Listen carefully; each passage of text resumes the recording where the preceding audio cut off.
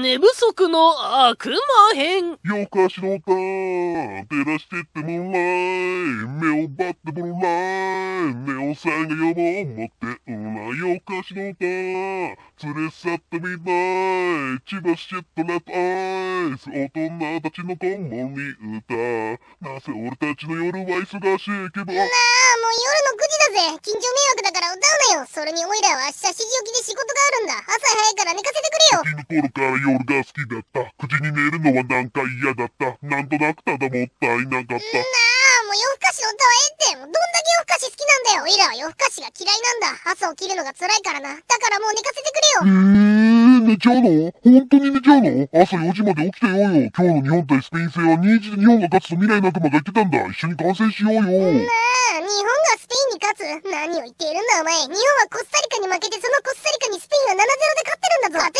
ないだろう。4時まで起きてるのもきついし、4時に起きるのもきついし、おいらは寝る。おやすみ。5時間後。う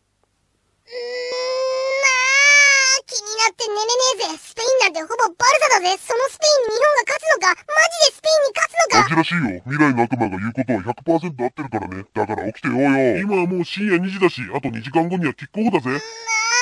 今日ぐらいはいいか。よし、今日は寝不足上等だぜ。そして夜の9時。まあ、本当に起きてよかったぜ。マジで日本がスペインに勝つわな。でも、すいませずに仕事はさすがにしんどかった。眠すぎて死にそうだから今日は早寝するぜ。おやすみ。えー、寝ちゃうの？本当に寝ちゃうの？今日の夜12時にあるポルトガル対韓国、韓国が勝つらしいぜ。韓国が勝つ？クリロナに勝つってこと？